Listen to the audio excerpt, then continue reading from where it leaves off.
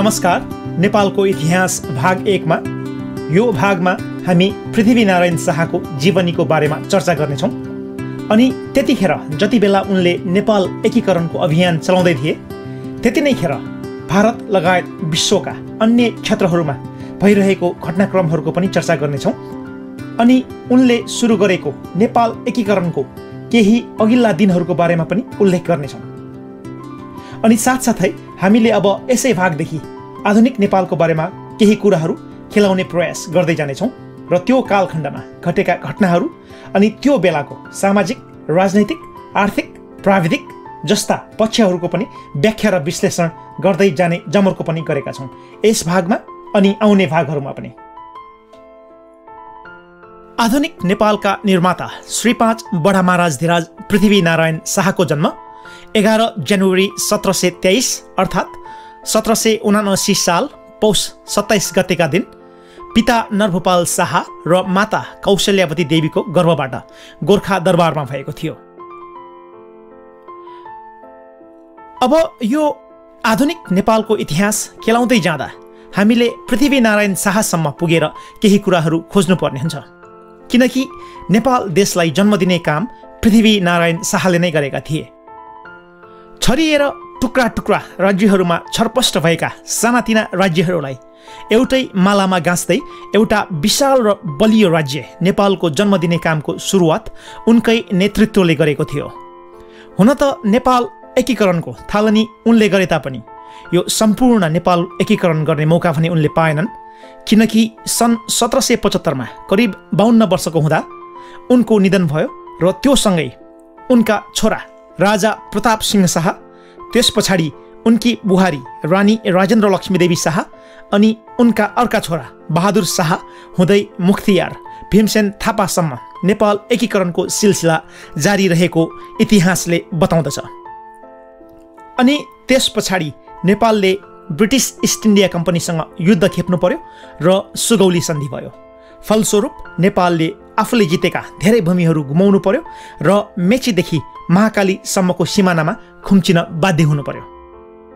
र धेरै पछि जङ्गबहादुर राणाले अठार सय सन्ताउन्नको ब्रिटिस इस्ट इन्डिया कम्पनीको सिपाही विद्रोहमा उल्लेख्य योगदान दिए बापत पश्चिम नेपालका चार जिल्लाहरू बाँके बर्दिया कैलाली र कञ्चनपुर प्राप्त गरेर पश्चिममा महाकालीदेखि पूर्वमा मेचीसम्म फैलिएको जुन हामी नेपाल भन्छौँ त्यो सिमाना नै सीमाङ्कित हुन पुगेको हो।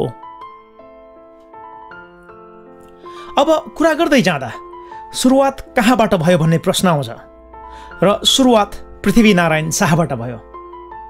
पृथ्वीनारायण शाह छरिएर रहेका चौबिसै राज्यहरूमध्येको एउटा सानो राज्य गोर्खाका राजा थिए।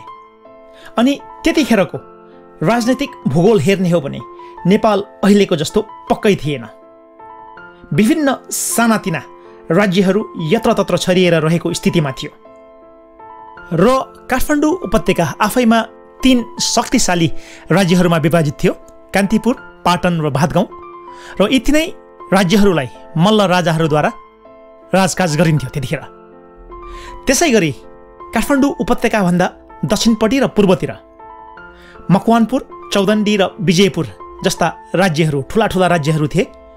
अनि मकवानपुरको उत्तरमा सिमाना काठमाडौँ उपत्यकाका राज्यहरू थियो भने तलपट्टि नारायणी तथा कमला नदी बिचको भित्री मधेस अनि तराईका क्षेत्रहरू मकवानपुर राज्यको सिमानाभित्र पर्दथ्यो। त्यसै गरी चौदण्डी राज्य तराईका सप्तरी लगायतका भूभागहरू अनि भित्री मधेसका उदयपुर लगायत पहाडका वल्लो किराँत र माझ किराँत जस्ता अहिलेको सोलुखुम्बु ओखलढुङ्गा खोटाङ भोजपुर उदयपुर आदि जस्ता ठाउँहरू अरुण खोलासम्म फैलिएको स्थितिमा रहेको थियो चौदण्डी राज्य। भने त्यसै गरी विजयपुर राज्य भने उता अरुण खोलाभन्दा पूर्वपट्टि पहाडी भूभागको पल्लो किराँत साथसाथै मोरङ तराईका भूभागहरू पर्दथे उता टिस्टा नदीसम्म। र यो चौदण्डी र मकवानपुर राज्य विजयपुर राज्यबाटै अलगिएको थियो अलि अगाडि र ती तिनै राज्यहरूलाई सेन राजाहरूद्वारा राज्य गरिन्थ्यो र उनीहरूलाई हिन्दूपति भन्ने गरिन्थ्यो। उसो त वल्लो किराँत माझ किराँत र पल्लो किराँत यी किराँती आबादी रहेका क्षेत्रहरू जहाँ चाहिँ विभिन्न किराँत जात जातिका मानिसहरूको बाक्लो बसोबास रहने गर्दथ्यो ती क्षेत्रहरू भने विभिन्न जातीय मुखियाहरू र सरदारहरूद्वारा प्रशासन चलाइने आफैमा एउटा स्वायत्त राज्यहरू थिए। विभिन्न सानातिना जातीय मुखियाहरूले ती भूभागहरू नियन्त्रण गर्थे र प्रशासन त्यसै अनुरूप चलाउँदथे। यद्यपि तिनीहरूका राजा सेन राजाहरू नै थिए हिन्दूपति राजा। र खास गरिकन विजयपुर राज्यको कुरा गर्नु पर्दाखेरि जसरी सेन वंशहरू राजा हुन्थे वंशको आधारमा त्यसरी नै लिम्बूहरू त्यस राज्यका मन्त्री हुन्थे जसलाई चौतारा भनिन्थ्यो। अनि यो विजयपुर चौदण्डी र मकवानपुर राज्यहरूको तराईको जुन भूभागहरू थियो त्यो भूभागहरूको हरेक वर्ष एउटा तिरो तिर्नुपर्ने चलन थियो। केही पैसा र केही हात्तीहरू यो बङ्गालको नवाबहरूलाई जुन चाहिँ परापूर्वकालदेखि नै यो मुगल साम्राज्यमा यो मुगल साम्राज्य हुँदाखेरि नै तिर्नुपर्ने एउटा जुन परिपाटी थियो त्यो कायमै थियो र त्यो तिरो तिर्थे त्यतिखेरका सेन राजाहरूले पूर्णियाका प्रशासकहरू मार्फत बङ्गालका नवाबलाई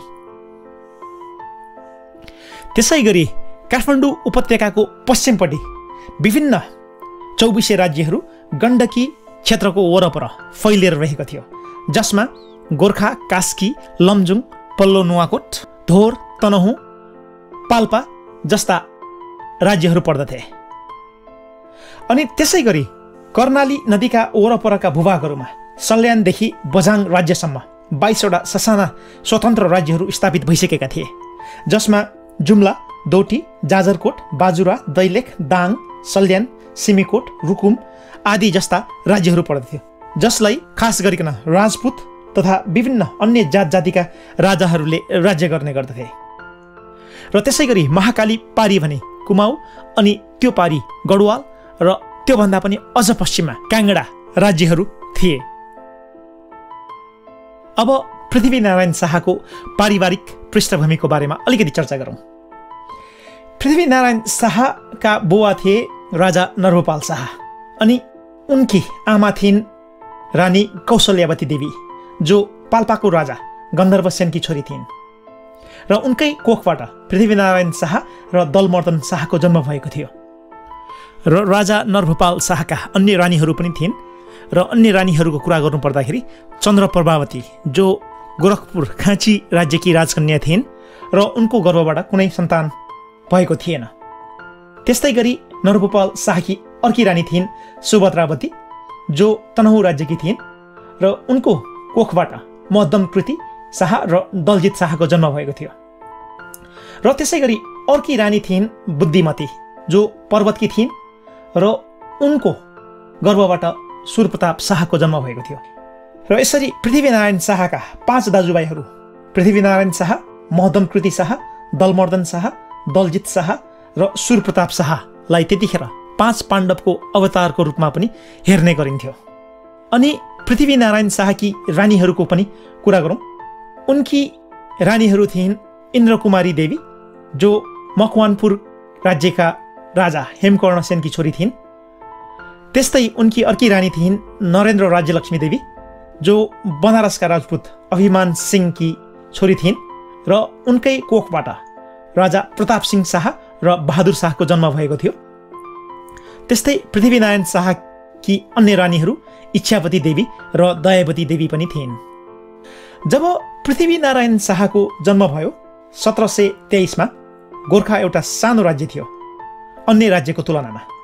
गोर्खा राज्यलाई उत्तरपट्टि हिमालले तिब्बतसँग छुट्याउँदथ्यो र त्यसै गरी पश्चिमपट्टि मर्स्याङ्दी नदीले अन्य चौबिसे राज्यहरूसँग छुट्याउँदथ्यो भने उता दक्षिणपट्टि त्रिशुली नदीले पाटन र तनहुँसँग छुट्याउँदथ्यो अनि त्यसै गरी पूर्वपट्टि त्रिशुली नदीले नै नुवाकोटसँग छुट्याउँदथ्यो र नुवाकोट कान्तिपुर राज्यको एउटा प्रान्त थियो र नुवाकोटको कुरा गर्नुपर्दाखेरि नुवाकोट कान्तिपुर राज्यको प्रान्त मात्र नभएर नुवाकोट तिब्बतसँग व्यापार हुने एउटा प्रमुख व्यापारिक मार्ग केरुङको मूलबाटोमा पर्ने एउटा प्रमुख किल्ला रहेको थियो नुवाकोट।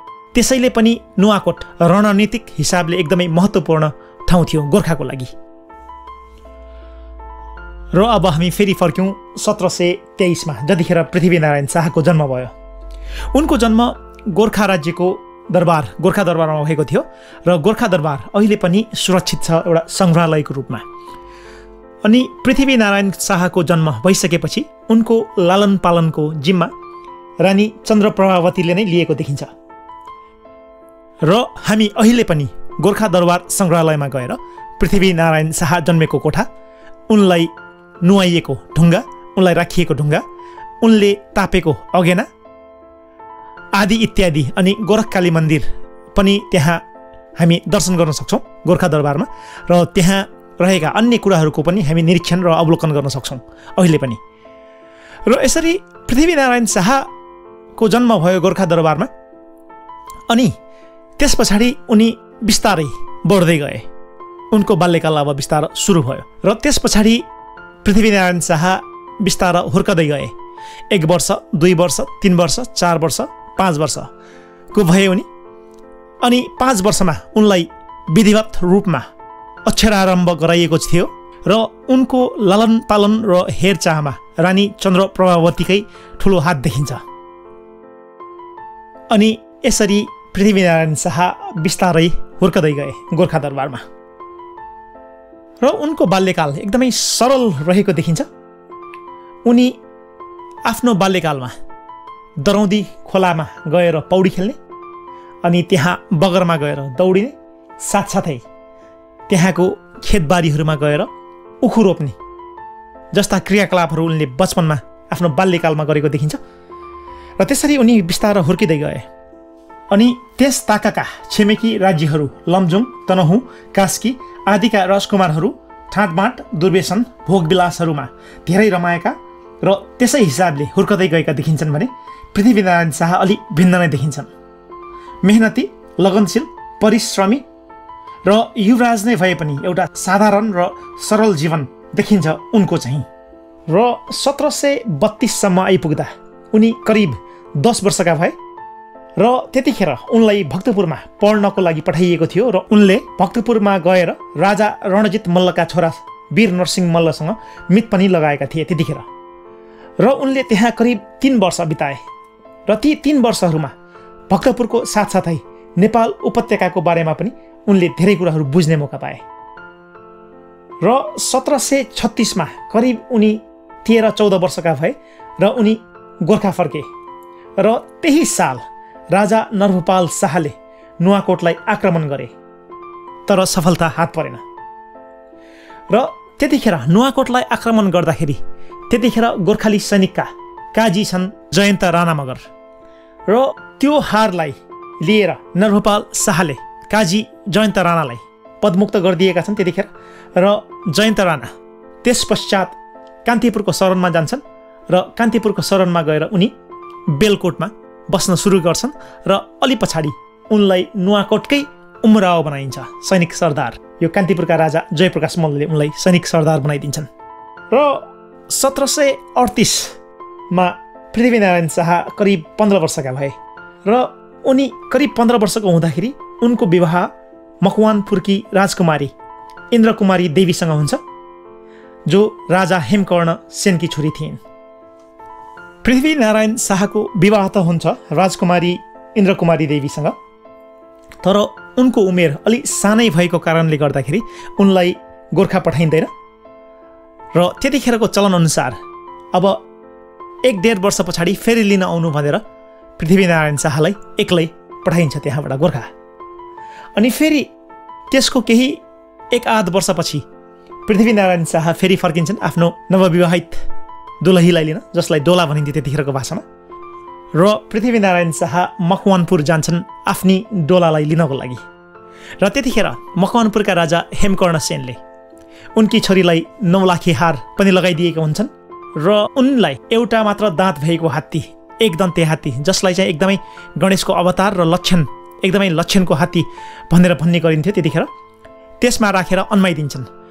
र सोही अनुरूप पृथ्वीनारायण शाहको बुझाइ चाहिँ उनलाई त्यो नौलाखे हार र एउटा दाँत भएको हात्ती उनको दाइजोको रूपमा आएको र पृथ्वीनारायण शाहकै हुनुपर्ने भन्ने उनको बुझाइ हुन्छ भने उता हेमकर्ण सेनका छोरा दिग्बन्धन सेन भने यो कुरामा सहमत हुन सक्दैनन्। र त्यतिखेर त्यहाँ विवाद हुन्छ र विवादले एउटा नराम्रो रूप लिन्छ र त्यहाँ ठुलै चर्काचर्की जस्तो हुन्छ। र पृथ्वीनारायण शाह आफ्नो भर्खरै बिहे गरेकी नयाँ डोलालाई नलिकन त्यहाँबाट गोर्खा फर्किन्छन्।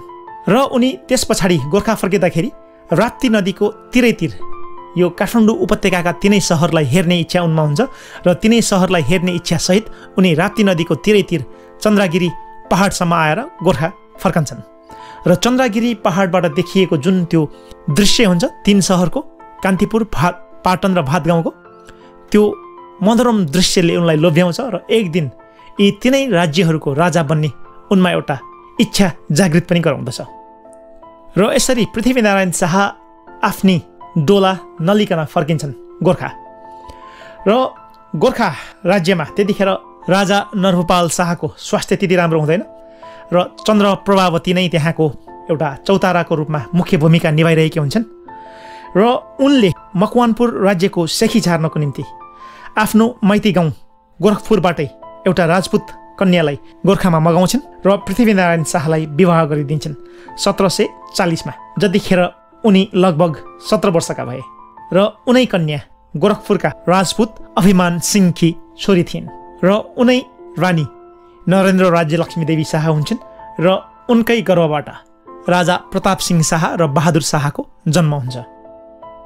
र बिस्तारै राजा नरभूपाल शाहको स्वास्थ्य स्थिति बिग्रदै गएर सन् सत्र सय त्रिचालिसमा थर्ड अफ अप्रिल सत्र सय त्रिचालिसमा उनको मृत्यु हुन्छ र उनको मृत्युसँगै पृथ्वीनारायण शाह गोर्खाका राजा बन्छन्। र त्यसै मृत्युसँगै राजा नरभोपाल शाहकी सम्पूर्ण रानीहरू सती जान्छन् जसमा रानी चन्द्र प्रभावती पनि हुन्छन्। र सती प्रथा त्यतिखेरको समाजमा हिन्दू समाजमा खास गरिकन त्यतिखेर एउटा चलन थियो र त्यतिखेरको सामाजिक परम्परा अनुसार ब्राह्मण क्षेत्री र वैश्यहरूका विवाहित पुरुषहरूको यदि मृत्यु भयो भने उनीहरूका पत्नी स्वत पतिको चित्तामा आगोमा जलेर मर्नुपर्ने चलन एउटा थियो जसलाई नै हामी सती प्रथा भन्छौँ। र यसरी पतिको मृत्यु भयो भने नचाहँदा नचाहँदै पनि आगोमा जलेर मर्नुपर्ने र कसैले आगोमा जान अनिच्छा देखायो भने जबरजस्ती समातेर आगोमा हालिदिने। त्यो चलन नेपालमा मात्र नभएर सम्पूर्ण भारतवर्षभरिका हिन्दू धर्म मान्ने राज्यहरूमा हावी थियो। अङ्ग्रेजहरूले अठार सय तिनदेखि नै सती प्रथामा रोक लगाए तापनि भारतभरि सती प्रथाको रोक भने अठार सय एकसट्ठीमा बेलायतका त्यतिखेरका महारानी भिक्टोरियाको आदेशबाट रोकियो। अठार सय एकसट्ठीमा। नेपालमा भने त्यो चलन चलि नै रह्यो र धेरै पछाडि चन्द्र शमशेरले अङ्ग्रेजहरूको दबावमा उन्नाइस सय बिसमा मात्र सती प्रथालाई उन्मूलन गरे। र सती प्रथालाई पृथ्वीनारायण शाह जस्ता एउटा शक्तिशाली राजाले पनि रोग लगाउन सकेनन् न कि त जङ्गबहादुर जस्ता एउटा शक्तिशाली शासकले पनि सती प्रथाको अन्त्य नै गर्न सके। यसरी सती प्रथा नेपाली समाजमा धेरै वर्षसम्म एउटा कुप्रथाको रूपमा हावी भएर बसि नै रह्यो। र सत्र सय त्रिचालिसमा पृथ्वीनारायण शाह राजा बने अनि त्यसको केही समय पछाडि नै सत्र सय त्रिचालिस सालमै उनले राजा बनाई लगत्तै नुवाकोटलाई फेरि असफल आक्रमणको प्रयास गरे। र त्यतिखेर सौ नुवाकोटको उमराव सरदार थिए जयन्त राणा जो गोर्खा राज्यकै भूतपूर्व काजी थिए। र त्यतिखेर जयन्त राणाले गोर्खाली सैनिकहरूलाई एउटा ठुलो धक्का दिएका थिए र गोर्खाली सैनिकहरूमा एउटा ठुलो क्षति भएको थियो यो दोस्रो पल्टको असफल आक्रमणको प्रयासमा। र त्यो हार पछाडि उनी अब आफ्ना सहयोगीहरूसहित बनारसको लागि निक्लिन्छन् तीर्थयात्राको लागि भनेर। र त्यहाँ उनले केही समय बिताउँछन् र त्यो समयमा उनले त्यहाँ भइरहेको राजनैतिक परिवर्तनका साथै अन्य कुराहरूलाई नजिकबाट विश्लेषण र अध्ययन गर्ने मौका पाउँछन् र बुझ्ने मौका पाउँछन्। र त्योभन्दा पनि ठुलो कुरो उनले त्यो बसाइमा त्यहाँ केही बन्दुकहरू र त्यही केही गोलीगट्ठाहरू सङ्कलन गर्ने अवसर उनलाई मिल्छ र त्यो कार्यको लागि उनलाई सहयोग गरेका छन् उनका ससुरा अभिमान सिंहले। र बनारसबाट गोर्खा फर्किने क्रममा उनी धेरै भन्सार चौकीहरू छल्दै अगाडि बढ्छन् र एउटा भन्सार चौकीमा त त्यहाँका सुरक्षाकर्मीहरूले तीर्थयात्री नै भए पनि सबै यात्रीहरूको भारी खुल्नुपर्छ भनी एउटा खिचलो गर्छन् र त्यहाँ विवाद सुलिँदै जान्छ र हात हलाहलको स्थितिसम्म त्यहाँ पुग्छ र त्यत्तिकैमा पृथ्वीनारायण शाहका समूहहरूले तिनीहरूलाई आक्रमण गर्छन् र ती खटिएका सुरक्षाकर्मीहरूलाई तत्काल मारिदिन्छन् त्यहीँ। र त्यहाँबाट त्यस पछाडि उनीहरू भाग्छन्। यी बन्दुक गोलीगट्टाहरू बोकेर र त्यस पछाडि रातारात भागेर केही नागा बाबाहरूको सहयोगमा उनका समूहहरू चाहिँ अब पाल्पा राज्यसम्म छिर्न सफल हुन्छन् र पाल्पा छिरिसकेपछि उनीहरू बिस्तार त्यहाँबाट गोर्खासम्म ती हतियारहरू ल्याउनको लागि सफल हुन्छन्। र त्यतिखेर उनको समूहमा थिए विराज बखती जसले पृथ्वीनारायण शाहलाई एकदमै सहयोग गरेका थिए त्यतिखेर। र उनको त्यो बुद्धिमत्ता र उनको त्यो इमान्दारिताबाट पृथ्वीनारायण शाह एकदमै प्रसन्न भएका छन् त्यतिखेर। र उनलाई नै गोर्खा फर्किसकेपछि काजी बनाउने उनले निदो गर्छन् विराज बखतीलाई तर जनचाहना अनुसार अन्य भारदारहरूको सल्लाह अनुसार विराज बखतीभन्दा कालु पाँडेको नाम नै अग्रपन्थीमा आउँछ र अन्तत कालु पाँडेलाई उनले काजी बनाइदिन्छन् गोर्खा राज्यको। यद्यपि उनलाई विराज बखती मन परे तापनि यस हिसाबले पनि धेरै इतिहासकारहरूले उनलाई एउटा सबल कुशल र दूरदृष्टि राख्ने सक्षम अनि प्रजातान्त्रिक प्रशासकको रूपमा हेरेका छन्। र त्यस बेला अब भारतमा भने मुगल साम्राज्य कमजोर हुँदै गइरहेको थियो। तिनीहरूका विभिन्न प्रान्त जसलाई शुभ भनिन्थ्यो ती शुभहरू पनि एकपछि अर्को गर्दै स्वतन्त्र हुँदै थिए। भने उता मराठाहरू जो हिन्दू थिए उनीहरू पनि बिस्तारै बिस्तारै शक्तिशाली हुँदै मुगल राज्यका मुसलमान शासकहरूलाई ठुलै चुनौती दिँदै थिए अनि मराठा साम्राज्य विस्तार गर्न अगाडि बढ्दै थिए। र उता अङ्ग्रेजहरू जो भारतमा एकतिस डिसेम्बर सोह्र सयमा रानी एलिजाबेथ प्रथमको शाही अनुमति प्राप्त गरी भारतमा व्यापार गर्ने मनसायले आएका थिए त्यसो त भारतमा पोर्चुगिज र डचहरू पन्ध्र सयको शताब्दीतिर जति बेला कोलम्बसले क्रिस्टोफर कोलम्बसले अमेरिका पत्ता लगाएका थिए। त्यस पश्चात उर्वर भूमि खोज्ने र व्यापार गर्ने सिलसिलामा संसारका धेरै भागहरूमा छरिसकेका थिए र पोर्चुगिज र डचहरू भारतमा त्यतिखेर आइसकेका थिए पन्ध्र सयको शताब्दीतिर। तर फ्रेन्चहरू भने सत्र सय चौसठी पछाडि मात्र आएको देखिन्छ भारतमा। अनि यो अङ्ग्रेजहरू सोह्र सय आठमा गुजरातको सुरत अनि सोह्र सय एघारमा आन्ध्र प्रदेशको मछलीपट्टनम हुँदै सोह्र सय बाह्रमा बङ्गालमा अङ्ग्रेजहरूको व्यापारिक उपस्थिति देखिन्छ। सुरु सुरुमा त व्यापार मात्रमा सीमित थिए अङ्ग्रेजहरू तर पछि पछि जब बङ्गालका नवाबहरूले कर बढाइदिने फ्याक्ट्रीमा आगो लगाइदिने आदि कामहरू गर्न थाले अनि अङ्ग्रेजहरूले आफ्नो व्यवसायको सुरक्षा गर्न सेक्युरिटी गार्डहरू भर्ना गर्न थाले र उनीहरूलाई तालिम र हात हतियार पनि उपलब्ध गराउन थालियो र तिनीहरूलाई सिपाही भनिन्थ्यो। कालान्तरमा सिपाही शब्द नै सिपाही हुन गयो।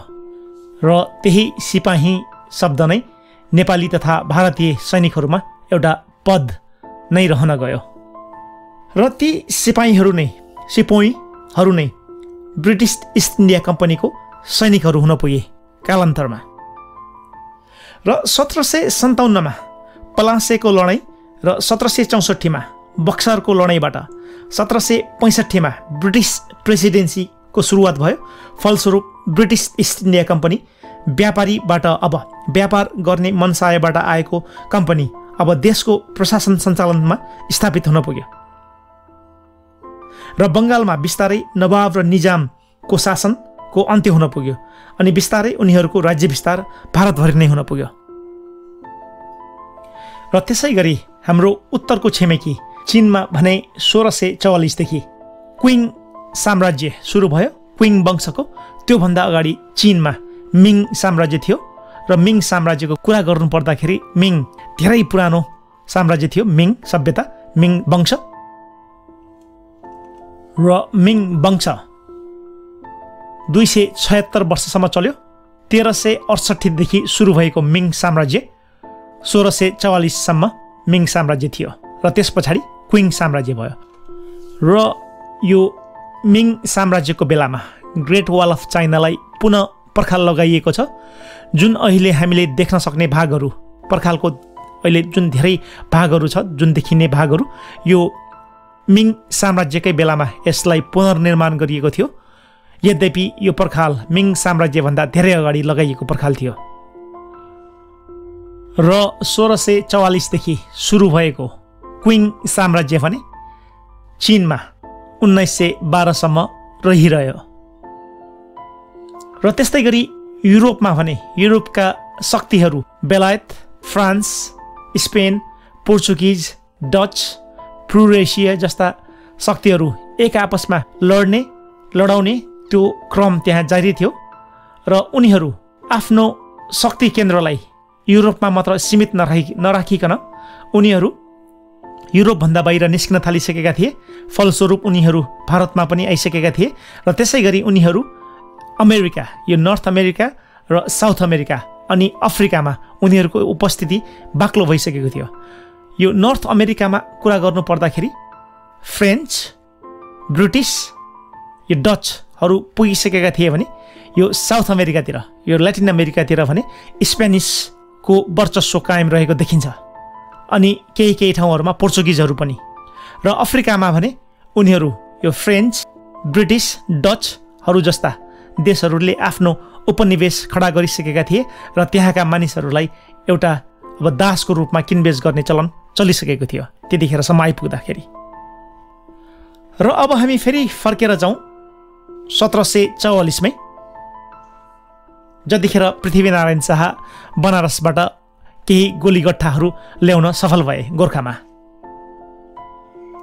र पृथ्वीनारायण शाह बनारसबाट फर्किसकेपछि फेरि उनले नुवाकोटलाई आक्रमण गर्ने निर्णय गर्छन् र त्यतिखेरसम्म आइपुग्दाखेरि गोर्खासँग हजारभन्दा बढी अभ्यासरत सैनिक र बन्दुक जस्ता हात हतियारहरू उपलब्ध छन् र पृथ्वीनारायण शाहको त्यतिखेर उमेर छ लगभग एक्काइस वर्ष। अनि नुवाकोटलाई जित्न त्यति सजिलो छैन भनेर उनलाई थाहा छ किनकि दुईपल्टको हार उनले आफ्नै आँखाले देखिसकेका थिए। र यो पल्ट भने पृथ्वीनारायण शाह अलि फरक ढङ्गबाट प्रस्तुत हुन्छन्। र उनले कुटनीतिक हिसाबले नुवाकोटलाई एक्ल्याउने रणनीति लिएको देखिन्छ र त्यही अनुरूप उनले परापूर्वकालदेखिको एउटा शत्रु राज्य लमजुङसँग शान्ति सन्धि गर्छन् अनि त्यस पछाडि कास्की तनहु र पाल्पासँग मित्रताको हात बढाउँछन् र पश्चिमपट्टिबाट हुन सक्ने सम्भावित आक्रमणलाई उनले थुनछेक गरिदिन्छन्। र पृथ्वीनारायण शाहले हजारभन्दा बढी सैनिकहरूलाई खेतालाको रूपमा नुवाकोट पुर्याउँछन् जसलाई तिन भागमा विभाजित गरिएको हुन्छ। एक भाग महोत्तम कृति शाहको नेतृत्वमा हुन्छ अर्को कालु पाँडेको नेतृत्वमा हुन्छ भने तेस्रो आफ्नै नेतृत्वमा। र पृथ्वीनारायण शाहले त्यतिखेर नुवाकोटका उम्राव जयन्त राणालाई जो चाहिँ गोर्खाकै भूतपूर्व काजी थिए उनलाई त हाम्रो आफ्नै मानिस होस् त्यही भएर तैँले नुवाकोटलाई बिना अवरोध यत्तिकै छोडिदे भन्ने खालको एउटा सन्देश पठाउँछन्। तर जयन्त राणाले मैले हुन त म गोर्खाकै मान्छे हुँ म हजुरकै मान्छे हुँ तैपनि मैले अब राजा जयप्रकाश मल्लको नुन खाइसकेको छु। मैले त्यही भएर नुवाकोटलाई यत्तिकै छोड्न मिल्दैन। नुनको सोझो गर्नुपर्छ। म नुवाकोटलाई मेरो हरसम्भव प्रयासले म बचाउने प्रयास गर्नेछु भन्ने खालको एउटा जवाफ पठाउँछन्। र त्यस पश्चात पृथ्वीनारायण शाहले एउटा अवसरको खोजी गरिरहेका हुन्छन् र काजी कालु पाँडेको योजना बमोजिम। जतिखेर जयन्त राणा कान्तिपुर गएका हुन्छन् सैनिक सहयोग याचनाको लागि राजा जयप्रकाश मल्लसँग छलफल गर्नको लागि त्यति नै खेर यो काजी कालु पाँडेको योजना बमोजिम उनले नुवाकोटलाई तिनतिरबाट हमला गर्ने योजना बनाउँछन्। र काजी कालु पाँडेको समूहले झिसमिसे हुनुपूर्व उत्तरतिरबाट यो महामण्डलको दुर्जेल किल्लामा हमला गर्छन् र सुतिरहेका सैनिकहरूलाई प्रत्याक्रमणको कुनै अवसर प्राप्त हुँदैन। र त्यतिखेर त्यहाँ नुवाकोटको सुरक्षाको लागि उम्राव जयन्त राणाका छोरा शङ्खमणि राणा छन्।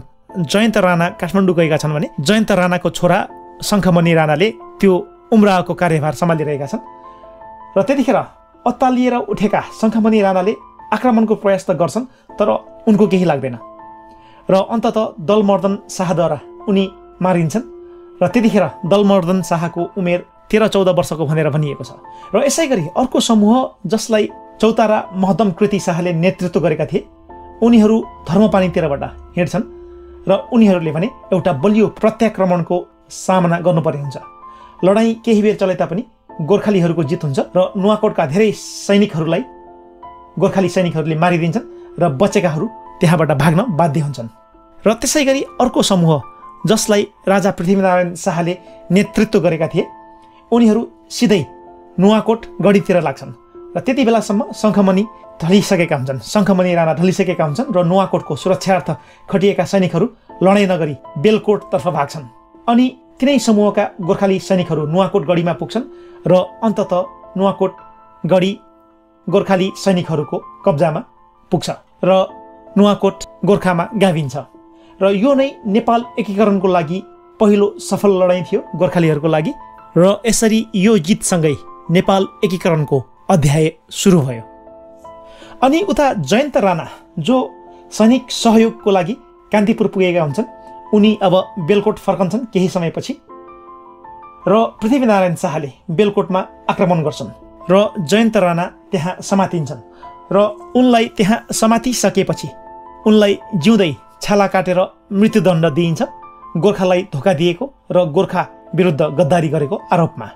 र त्यसको केही समयपछि नुवाकोट कान्तिपुरको एउटा प्रान्त थियो। र त्यसकारण त्यसको केही समयपछि कान्तिपुरका राजा जयप्रकाश मल्लले नुवाकोटलाई गोर्खालीहरूसँग पुनः खोज्ने प्रण गर्छन्। तर त्यस बखत उनका सैनिकहरूमा केही षड्यन्त्र र कमजोरी देखिन्छ। उनका सैनिक कमान्डर त्यतिखेर थिए रणभीम थापा र रणभीम थापालाई गोर्खा राज्यसँग मिलोमतो गरेको आरोप लगाइन्छ र गोर्खाकै एउटा एजेन्ट भएको दोष पनि लगाइन्छ। र त्यस पश्चात उनी पदमुक्त हुन्छन् र उनलाई जेलमा हालिन्छ। राजा जयप्रकाश मल्लको कुरा गर्नु पर्दाखेरि धेरै इतिहासकारहरूले उनलाई एउटा सन्का राजाको रूपमा चित्रण गरेको पाइएको छ र उनी आवेशमा आएर एक्कासी आवेशमा आएर निर्णय गर्ने खालको प्रवृत्ति रहेको पनि भनिएको छ। र त्यस पश्चात जयप्रकाश मल्लले आफ्नो सैनिक संरचनामा केही फेरबदल गरिदिन्छन् र काशीराम थापालाई कान्तिपुर राज्यको सैनिक सरदार बनाइदिन्छन्। र कान्तिपुरका राजा जयप्रकाश मल्लले त्यस बखत आठ हजार सैनिकहरू खडा गर्न सफल हुन्छन् उनी र त्यस पश्चात उनले ती आठ हजार सैनिकहरूलाई नुवाकोटको हमलाको लागि पठाउँछन्। सरदार काशीराम थापाको नेतृत्वमा। र त्यति बेला भने पाटन र भातगाउँ दुवै देशहरू कान्तिपुरको सहयोगको लागि आउँदैनन्। कान्तिपुरका सैनिकहरूले हर सम्भव प्रयत्न गरे तापनि नुवाकोटमा गोर्खाली सैनिकहरूको अगाडि उनीहरूको केही लाग्दैन। गोर्खाली सैनिकहरू त्यतिखेरसम्म आइपुग्दाखेरि उनीहरूसँग बन्दुक जस्ता त्यतिखेरको अत्याधुनिक हात हतियार रहेको छ र बाह्र सयकै सङ्ख्यामा भए पनि सानै सङ्ख्यामा भए पनि कान्तिपुरका सैनिकहरूको गोर्खाली सैनिकहरूसँग केही लाग्दैन र अन्तत त्यहाँ धेरै क्षत विक्षेत भइसकेपछि धेरै क्षति भइसकेपछि कान्तिपुरका सैनिकहरू त्यहाँबाट फर्किन बाध्य हुन्छन्। र काशीराम थापाको कान्तिपुरका राजा जयप्रकाश मल्लसँग कुरा मिल्दैन। त्यो हार पश्चात र उनी त्यताबाट सिधै कान्तिपुरतिर नलागिकन उनीहरू अब बनेपातर्फ भाग्न बाध्य हुन्छन्। र त्यो हारले कान्तिपुरका राजा जयप्रकाश मल्ललाई एउटा ठुलै झट्का दिएको हुन्छ र उनको त्यो सैनिक संरचनामा खास गरिकन त्यतिखेर बाहुन छेत्री जातको मानिसहरू अनि मगर जातको मानिसहरू र साथसाथै तिरहुटिया भनेपछि यो दराई र बिहार क्षेत्रका मानिसहरू र खास गरिकन यो छेत्री जातको मानिसहरू यो बाहुन छेत्री जातको मानिसहरू जसलाई त्यतिखेरको भाषामा पर्वते भन्ने गरिन्थ्यो पर्वतमा बस्ने मानिसहरू र त्यो पर्वते मानिसहरूसँग जयप्रकाश मल्ललाई अब विश्वास लाग्दैन र उनीहरूको निष्ठाप्रति जयप्रकाश मल्ललाई अब विश्वास हुँदैन र त्यतिखेरसम्म आइपुग्दा काशीराम थापा सहित अन्य आठजना पर्वतीय सैनिकहरू सैनिक सरदारहरू उता बनेपातर्फ भागिसकेका हुन्छन् र राजा जयप्रकाश मल्ललाई अब उनीहरूसँग बदला लिने एउटा भावना पैदा हुन्छ र त्यसै अनुरूप उनले ती पर्वतीय सैनिक सरदारहरूलाई जसले गर्दा उनले नुवाकोटको लडाइँ जित्न सकेनन् र नुवाकोटलाई फेरि पुनः कान्तिपुरको कब्जामा जमाउन सकेनन् त्यस पश्चात उनले ती भाग्ने पर्वतीय सैनिकहरूलाई अब मार्नको निम्ति भारतबाट विशेष मानिसहरूको सहयोग लिन्छन् र अन्तत काशीराम थापाको हत्या हुन्छ। अनि काशीराम थापाको हत्या पश्चात उनका भाइ परशुराम थापा जो कान्तिपुर राज्यकै सैनिक सरदार हुन्छन् अर्को उनलाई आफ्नो दाजुलाई यसरी कान्तिपुरका राजा जयप्रकाश मल्लले बिना कारण यत्तिकै दोष लगाएर मारेकोमा उनलाई चित्त बुझ्दैन र उनी आफ्नो दाजुको हत्याको बदला लिनको निम्ति अब कान्तिपुरका राजा जयप्रकाश मल्ल विरुद्ध विद्रोह गर्न थाल्छन्। र यसरी गोर्खालीहरूले नुवाकोट आफ्नो हातमा पारे नुवाकोटलाई जिते र कान्तिपुरका सैनिकहरूसँग बचाइराखे र यो जित नै गोर्खालीहरूको लागि एउटा ठुलो जित थियो र नेपाल एकीकरणको लागि एउटा पहिलो जित थियो। र अब यसबाट नै गोर्खालीहरूको नेपाल एकीकरणको यात्रा अब आरम्भ भयो। अनि यसरी पृथ्वीनारायण शाहको नेतृत्वले गोर्खाली सैनिकहरूलाई अगाडि बढाइ नै रह्यो र नेपाल राज्यको स्थापना गर्ने एउटा बाटो खोलिदियो। हवस् त आजलाई यो भागमा यति नै कुरा गरौँ र अब यस पछाडि हुने घटनाक्रमहरूलाई अर्को भागमा चर्चा गर्दै जानेछु। अनि साथसाथै केही सल्लाह सुझाव अनि आलोचनाहरू छन् भने तल कमेन्ट बक्समा कमेन्ट गरिदिनुहोला। धन्यवाद।